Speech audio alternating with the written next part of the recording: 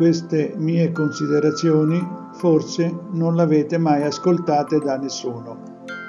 In Italia abbiamo tantissimi maestri di lancio. Come mai le loro esibizioni avvengono sempre su di un prato o in una palestra o in un tratto aperto di fiume? Mai e poi mai in azione di pesca reale? La loro professionalità è realmente come la raccontano? Puntini puntini o la sanno solo raccontare?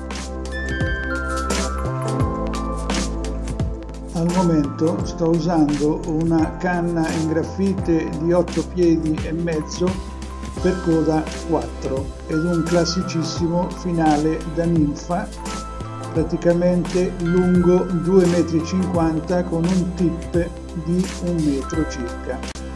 In questa classica tecnica non si usano imitazioni eccessivamente pesanti. Un filo di rame girato intorno al gambo o un filo di piombo sempre girato intorno al gambo sono il massimo consentito su queste imitazioni. La situazione del video è una delle più semplici che possano capitare lungo un qualsiasi torrente eseguiamo un lancio leggermente ondulato come se pescassimo praticamente a mosca secca.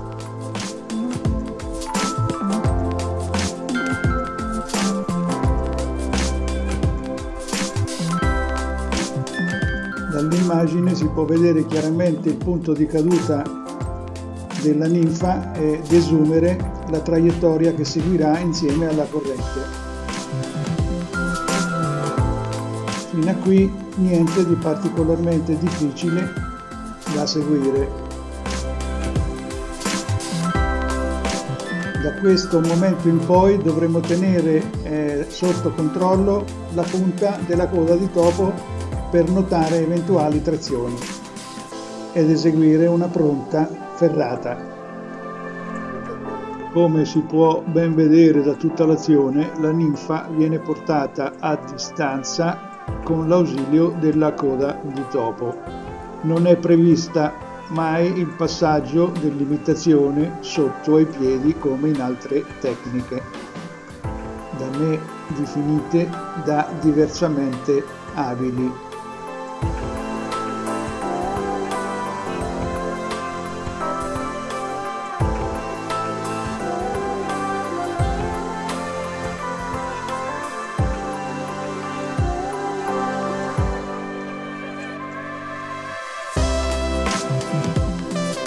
Quindi tutto sommato non ci sono grandi difficoltà in questa tecnica.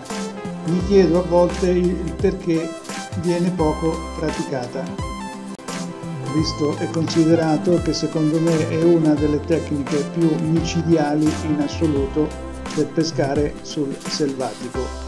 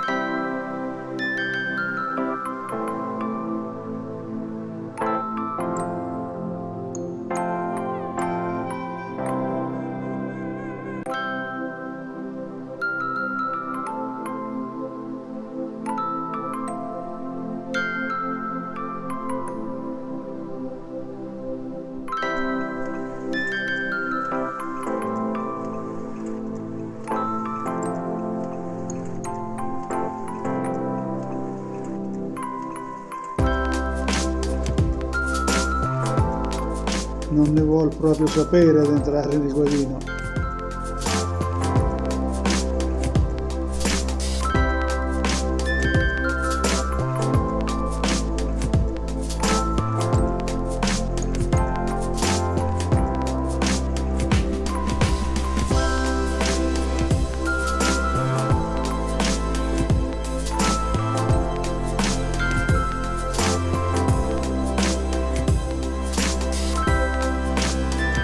Praticamente dopo averla guadinata e rilasciata ho smesso di pescare e me ne sono tornato tranquillamente a casa.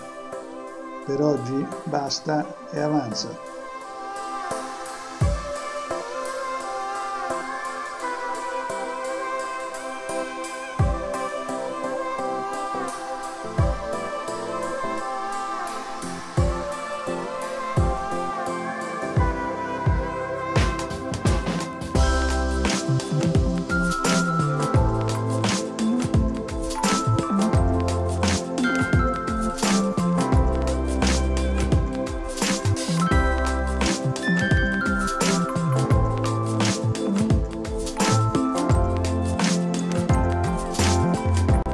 Questa è l'imitazione usata nella cattura.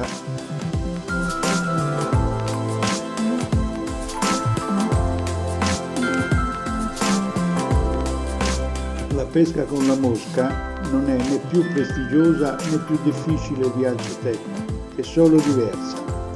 Diversi e speciali invece sono tutti quelli che la comprendono fino in fondo, tanto da capire che essa ti dà quello che tu gli dai. Soprattutto è una tecnica che va amata e come in tutti i grandi amori per essere ricambiati è necessario dare senza nulla chiedere.